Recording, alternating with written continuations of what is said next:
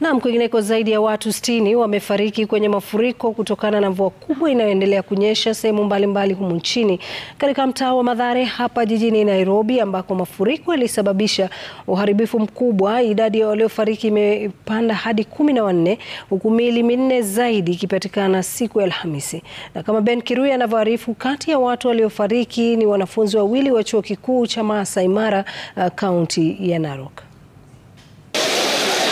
Shughuli za uopoaji na uokoaji wa waathiriwa wa mafuriko mtaa wa Mathare hapa jijini Nairobi iliingia siku ya pili leo Alhamisi.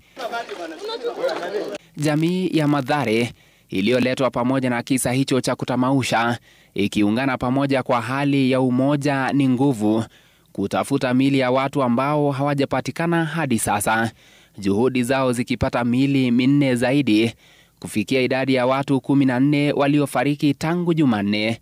Familia ya Collins Oyengo iliathirika zaidi.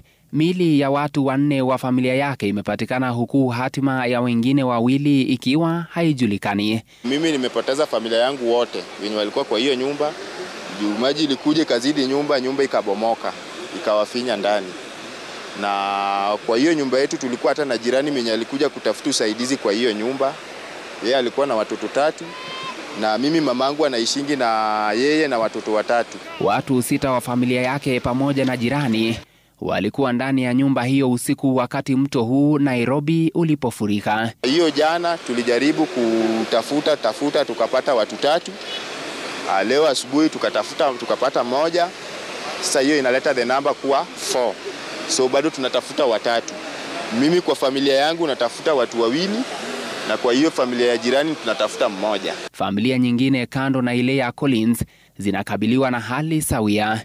Chantel Nyangi amekuwa akimtafuta mwanawe wa miaka kumi tangu Jumanne. Naomba tu mnisaidie tu mtoto wangu tu apatikane tu, sijui kako kwa ama mama shakufa, nisimuoni. Nimetembea nime Iro yote mpaka huko Riverside sijampata, sijamwona.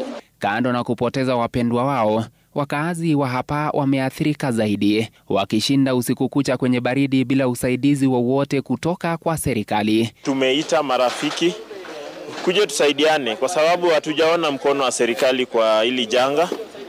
Uh, wanakuja wanapiga picha huko juu na wanaenda, so sisi ndio waathiriwa, lazima tushughulike. I need help, I need machinery on the ground, I need those people wasimame hapa wasaidie watu hapa. Kuna mili mingi sana More bodies are here. Even NYS wako hapo watoke na mashinari zao. Familia zilizoathiriwa zinajaribu kutoa maji kutoka kwenye nyumba zao, picha inayoashiria kiwango cha masaibu yao. Pia mali ziliharibiwa. Huku maji yakiwa yamepungua, imetoa fursa kwa jamii hii ya Madhare kutafuta kila kona na kugeuza kila jiwe, wakiwa na matumaini ya kuopoa miili zaidi. Ben Kirui, runinga ya